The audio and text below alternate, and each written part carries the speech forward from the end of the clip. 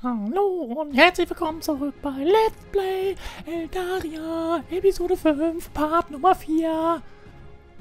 So, und wir haben hier beim letzten Mal ja im Wald irgendwo Schreie gehört. Und den werden wir jetzt auf die Spur gehen. Also gehe ich mal hier zu der Lichtung der Zypressen. Hm, vielleicht zum Waldrand. Ah fuck, von da komme ich. Dann hier weiter zum hohlen Baum. Und zwar das Innere. Oh! Was ist das denn? Ist das ein Kappa? Wir rannten zu der Stelle, wo wir die Schreie gehört hatten. Sofort fiel mein Blick auf eine düstere, gewaltige Gestalt, die aussah wie ein von schwarzem Nebel umwölkter Wolf. Weiter! Das Monster schien sich dem Kappa nicht nähern zu können, wahrscheinlich wegen seiner spitzen Schreie oder des Gestanks. Das hielt den Wolf aber nicht davon ab, es wie ein Raubtier zu umkreisen. Weiter! Etheril's Gesicht verdüsterte sich und er drängte mich hinter einen Baum, dabei man uns nicht bemerkte. Weiter! Das ist ein Black Dog, Vito. Wir werden ihn gemeinsam angreifen, oder es zumindest versuchen. Was? Aber wir haben gar keine Waffe. Ich weiß. Deshalb bitte ich dich auch, mir dieses Mal dabei zu helfen. Aber sonst bin ich immer nur nutzlos in seinen Augen, oder was? Naja, gerade ist wohl nicht der richtige Moment, ihn darauf hinzuweisen. Okay, wie gehen wir vor? Hier, nimm dieses Stöckchen und wähle damit vor dem Vieh herum. Es geht nur darum, ihm Angst einzujagen. Wenn ich dir sage, dass du zur Seite gehen sollst, tust du das. Verstanden? Okay. Ezreal trat auf den Black Dog zu und ich folgte ihm. Wir fuchtelten beide wild mit dem Stück Holz herum, um das Wesen zu erschrecken, und am Anfang schien unser Plan auch wunderbar zu funktionieren. Weiter! Dann, ohne Vorwarnung, ging der Black Dog auf das Kappa zu. Weiter! Vito, geh nach links! Nach links? Aber das Wolf-Dings geht auch nach rechts? Scheiße, was hat er gesagt? Warte, warte, er hat gesagt nach links gehen, also muss ich nach links gehen. Nach links gehen. Ich entschied mich, Ezreals Anweisung zu vertrauen. Nachdem er ein paar Schritte nach links gelaufen war, hielt der Black Dog inne und kam stattdessen auf mich zu. Ich schwang meinen Stock nach ihm, wobei ich versuchte, so bedrohlich wie möglich zu wirken. Schließlich verschwand er zwischen den Bäumen. Weiter! Woher wusstest du das? Ich bin in der Vergangenheit schon öfter Black Dogs begegnet. Wirklich? Ja, aber das ist gerade nicht wichtig. Lass uns nach dem Kappa sehen. Ich näherte mich dem Kappa. Als es uns sah, rollte er sich zu einer Kugel zusammen und Ezreal trat einen Schritt zurück. Du liebe Zeit, dieser Gestank ist wirklich unerträglich. Es riecht wirklich übel. Ich weiß schon, was jetzt kommt.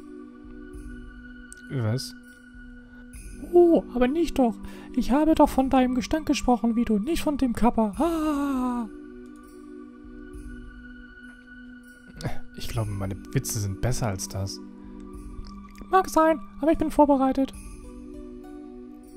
Bereite dich vor, wie immer du willst, aber in der Zwischenzeit tu mir einen Gefallen und nimm das Kappa mit. Nein, danke. Das ist dein Auftrag, also führe ihn auch zu Ende aus. Ich verdrehte die Augen. Na schön, ich mach's. Ist mir egal. Ich weige immer recht, das Ding anzufassen.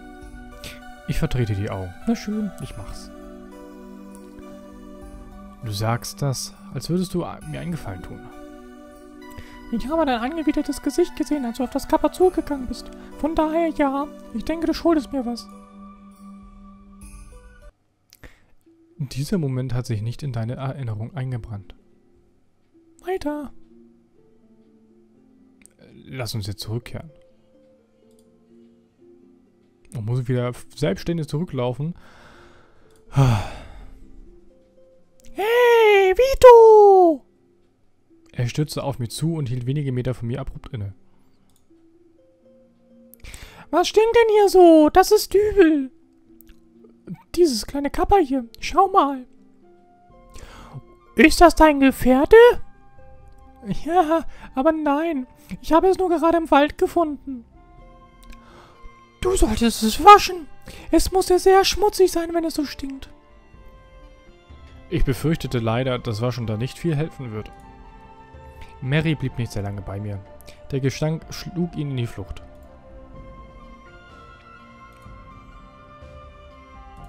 So, dann gehen wir mal hier back to the HQ. Ich traf Ika. Sie sah uns an und wich einige Schritte zurück. K -k komm mir nicht näher. Nein, ernsthaft, ich ertrage das nicht. Was? Das übersteigen meine Kräfte. Verzeih mir. Okay. Zentraler Pavillon, Refugium von El. Marktplatz. Halle der Pforten. So, und äh, ich soll jetzt ins HQ zurückkehren. Ich gehe mal davon aus, dass ich jetzt ins, äh, in den Kristallsaal soll. Als ich in den Kristallsaal trat, hob Miko erstaunt den Kopf. Hey, wieso bist du Papito? Weiter! Das ist ein Geschenk von Ika. Was hat sie denn mit dieser Sache zu tun? Weiter! Sie hat sie dazu gebracht, mich um Hilfe zu bitten. Oh, mein Beileid. Ich hörte Miko leise lachen. Ah, wirklich? Hat sie ernsthaft geglaubt, ich ließe dich bei diesem ersten Mal alleine losziehen? Warum war es dir so wichtig, mich in Begleitung zu wissen? Wie ich sehe, habt ihr das Cover gefunden. Ausgezeichnet. Sie überging meine Frage völlig. Stimmt, aber wir hatten unterwegs auch eine reizende Begegnung. Weiter! Äh, mit wem? Weiter! Äh, mit was? Einem Black Dog. Machst du Witze? Er verkniff sich ein Lachen und schüttelte verneint den Kopf. Wir hätten auch weiteres Schlimmeres treffen können. Ach ja? Auf was zum Beispiel? Äh, noch einen Menschen. Hihi. Ich warf ihm einen vernichtenden Blick zu. Eines Tages funktioniert es vielleicht. Ich tut mir leid, euch zu stören, aber... Weiter! Vito, ich muss mit ihm über diesen Vorfall sprechen. Bringst du das Kappa bitte in die Krankenstation und lässt sicherstellen, dass es wohl auf ist? Ähm, klar. Aber wo ist die? Ich glaube, die kannst du dich verfehlen. So, äh, zur Krankenschwester. Ja, gut. Wo ist die denn? Da, da oben. Ha! Okay, alles klar. Ich gelangte zur Krankenstation und wurde von einer sehr schönen Frau empfangen. Unwillkürlich fragte ich mich, ob sie ebenfalls zur Lichtgarde gehörte. Weiter! Sie nahm mir das Kappa ab, ohne sich an dem Geruch zu stören, und setzte es auf ein Bett, um es anzuhören. Ich atmete erleichtert auf, als ich endlich nicht mehr so schwer zu tragen hatte. Seine Augen blieben gebannt auf mich gerichtet. Weiter! Ah! Hey, du siehst nicht mehr ganz so ängstlich aus wie vorhin. Hahaha! Dir ist aber schon klar, dass ich kein Wort von dem verstehe, was du da brabbelst. Ich fühlte mich wie eine dieser schrulligen Omas, die mit ihren Zimmerpflanzen reden. Die Krankenschwester bat mich hinauszugehen, damit der Kleine sich etwas beruhigte. Meine Anwesenheit schien ihn so unnötig aufzudrehen. Ich beschloss also, zu Miiko zurückzukehren, um meinen Auftrag als erledigt zu melden. Weiter! So, dann back to the Kristallsaal. Alles klar. Vito, du kommst wie gerufen. Wir besprachen gerade, wie wir das Kappa wieder nach Hause bringen. Was? Das hat Ika gar nicht erwähnt. Könnte mir vorher vielleicht noch jemand diese Black Dog-Sache erklären? Ähm, okay. Und wie stellen wir das an? Ich will das über den Black Dog wissen. Wie bitte? Du hast so überrascht ausgesehen, als ich von dem Black Dog erzählt habe und Ezreal auch, als er ihn gesehen hat. Warum? Das Thema war zwar eigentlich vom Tisch, aber wenn du darauf bestehst... Ich bestehe darauf. Hm, Black Dogs sind verfluchte Kreaturen. Wenn man ihnen begegnet, kündigt das oft ein Unglück an. Verstehe. Nur, wieso wart ihr so erstaunt, einen zu treffen? Ich vergesse immer, dass du nicht von hier bist. Sagen wir es so, das hier ist nicht unbedingt ihre bevorzugte Gegend. Außerdem begegnet man ihnen so gut wie nie tagsüber oder in der Nähe von Dörfern. Sie sind schließlich Wesen der Nacht. Aha, also das ist wirklich ungewöhnlich. Jedenfalls, äh, wie Ika dir zweifellos schon gesagt hat. Ika nickte bestätigend. Sie schien sehr gewissenhaft zu sein, was ihre Arbeit betraf. Vielleicht etwas zu sehr müssen wir die Heimreise des Kappas organisieren. Wir können los, wann immer es dir passt. Haha, ganz so einfach ist es leider nicht. Ach nein, wieso nicht? Die Kappas wohnen in einer ganz anderen Region, jenseits des Meeres. Das klingt nach einer langen Reise. Ja, und darum müssen wir sie gut vorbereiten. Es wird uns mit aller Wahrscheinlichkeit einige Tage kosten. Wir haben uns also überlegt, dass... Das? dass du dich in der Zwischenzeit um deine Kappa kümmern könntest. Ihr unseres Lächeln sprach Bände. Bitte, auch wenn du keine Wahl hast, sag einfach ja. Ich gab nach. In Ordnung. Im Moment ruht er sich noch auf der Krankenstation aus. Bis alle nötigen Untersuchungen abgeschlossen sind, kannst du schon einmal zwei, drei kleine Dinge besorgen gehen. Ganz alleine? Aber nein, wir werden alle unseren Teil beisteuern. Aber da wir deine Fähigkeit noch nicht kennen, haben wir für deinen Anfang ein paar kleine Aufgaben übertragen. Ich schätze mal, ich habe keine Wahl. Du solltest froh sein, dass wir dir das überhaupt zutrauen, uns behilflich zu sein. Bin ich ja, aber das ist alles so eine Scheißarbeit hier. Kero, besorgst du ihr bitte eine Liste der benötigten Gegenstände? Ika, kümmerst du dich bitte darum, ein Boot und einen Anlegeplatz zu finden? Notiert. Ich nehme an, ich soll dafür unsere Freunde kontaktieren. Weiter. Ja, wenn wir Glück haben, kennt ihr die richtigen Leute. Alle verschwanden, um sich um ihre Aufgaben zu kümmern. Nun gut, ehrlich gesagt gibt es nicht mehr allzu viel für dich zu tun. Versteht das nicht falsch, aber wir wussten nicht recht, was wir dir auftragen sollten. Oh, keine Sorge, ich verstehe das schon. Sehr gut. Er reichte mir einen Brief und eine Liste. Irgendwie stehen die hier in Eldaria total auf sowas. Also, du wirst sehen, dass es einiges zu besorgen gibt. Allerdings kannst du viele dieser Gegenstände am selben Ort kaufen. Als erstes musst du euren Proviant organisieren. Dafür habe ich dir einen Brief von Miko mitgegeben. Es reicht, wenn du den, den Verantwortlichen der Speisekammer gibst. Dann bereitet er alles für euren Abreisetag vor. Und die übrigen Punkte? Es folgen einige Gegenstände zur Navigation, sozusagen Kompass und Karte. Aha, und wo finde ich die? Äh, logischerweise auf dem Markt. Ich hoffe, sie haben dort noch genug. Und dann musst du gut aufpassen, dass du noch die richtige Nahrung für deinen Kappa auftreibst. Ich denke, Porero wird dir zu dem Thema ein paar Tipps geben können. Porero? Porero? Porero? Ich weiß es nicht. Okay. Okay, na gut. Dann fange ich mal an, das alles zusammenzusuchen. Viel Glück wieder. Ähm. Das heißt, ich gehe jetzt erstmal zur Speisekammer. Nein, tue ich nicht. Okay.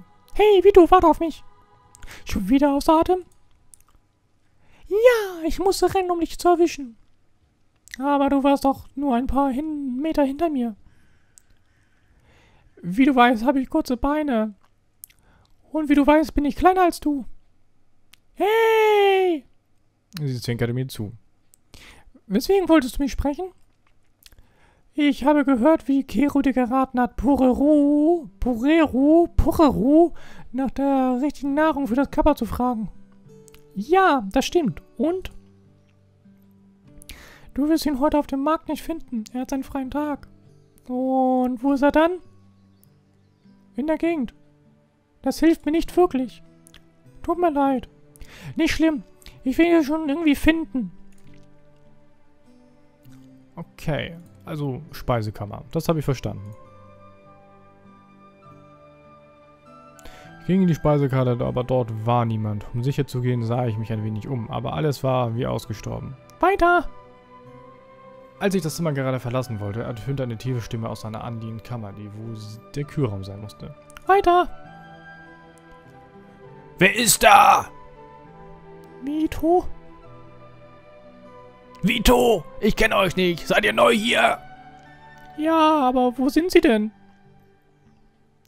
Das geht dich gar nichts an, Kleine. Ähm, okay. Wissen Sie vielleicht, äh, wo ich den Verantwortlichen für die Speisenkammer finde? Der ist nicht da. Was hast du ihm zu sagen? Sie könnten doch zumindest herauskommen, damit ich sehe, mit wem ich das Vergnügen habe oder nicht. Keine Zeit. Ich habe viel zu viel Arbeit. Also, was hast du ihm zu sagen? Miko hat mir einen Brief für ihn mitgegeben, damit er uns Proviant für eine lange Reise vorbereitet. Miiko will dies, Miiko will das. So langsam geht's mir auf den Keks, diese Königin der Nervensägen. Okay, Mikos Beziehung zu diesem Mann scheint ja eher angespannt zu sein. Und was darf ich als nächstes für sie tun? Ihr neues Kleid nähen oder noch besser, sie porträtieren? Und den hundertsten Gefährten noch dazu?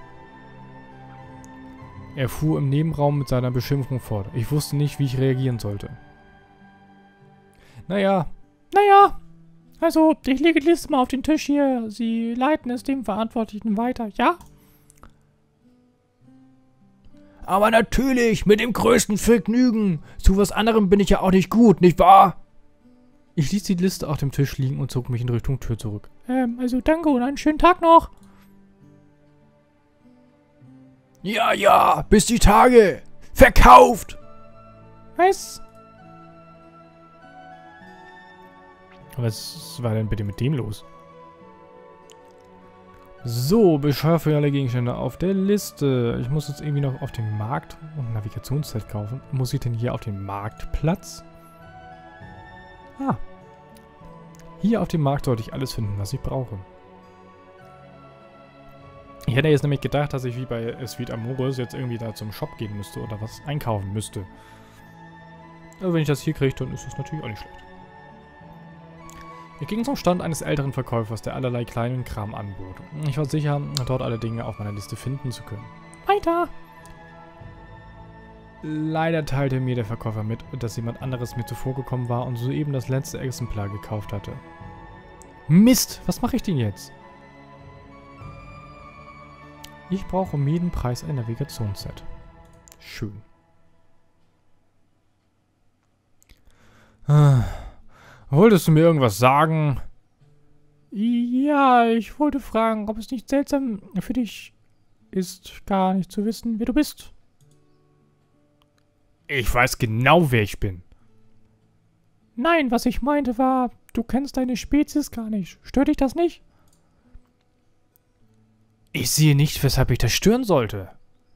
Willst du gar nicht wissen, wo du herkommst? Äh, wollte ich mal, als ich jünger war. Warum stellst du mir diese Frage? Ich. Ich stelle sie mir selbst. Ah. Welcher Spezies gehöre ich an? Nicht so wichtig, vergiss es. Lass uns über was anderes reden, okay? Ähm, das klingt interessant. Welcher meiner Vorfahren war eine Fairy? Bin ich deshalb hier gelandet? Und wie eigentlich? Was ist mit...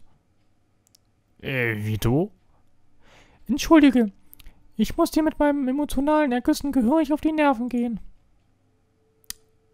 Nein, es ist normal, sich so viele Fragen zu stellen, nur Weiter! befürchte ich, dass wir gerade nicht imstande sind, dir die Antworten zu liefern, die du dir wünschst. Das habe ich mir schon gedacht. Trotzdem ist es frustrierend, nach all dem feststellen zu müssen, dass ich im Grunde nicht viel über mich weiß. Ah, das trifft doch auf ihn zu. Wenn du das sagst.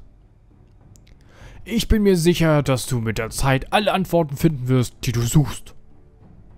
Das hoffe ich. Danke ich jedenfalls, dass du zugehört hast. Äh, keine Ursache.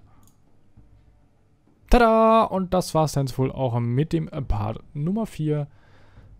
Ich würde mich sagen, dass wir jetzt hier äh, Pause machen, damit der Part ja nicht zu lang wird. Und dann sehen wir uns morgen wieder, wenn wir dann äh, diese ganzen Sachen von der Liste zusammensuchen. Ich freue mich schon darauf. So langsam funktioniert das ein bisschen bei mir auch mit den Stimmen, wobei ich jetzt schon, äh, glaube ich, auch mal gelesen habe und gehört habe, dass ich manchen Personen die gleiche Stimme gebe. Also ich muss sagen, in der Höhe kann ich leider nicht so viel variieren. Ich bin ja froh, dass ich überhaupt so lange durchhalte mit der hohen Stimme. Ich versuche in der tiefen Stimme zu variieren. Das ist für mich deutlich einfacher, was ja auch irgendwie logisch ist. Aber ich gebe mein Bestes, ich versuche mein Bestes. Ja, und ich hoffe, es hat euch gefallen. Ich hoffe, ihr schaut dann auch morgen wieder zu. Und äh, ich wünsche euch noch einen wunderschönen Morgen, Abend oder was auch immer. Und äh, wir sehen uns dann morgen. Bis dahin.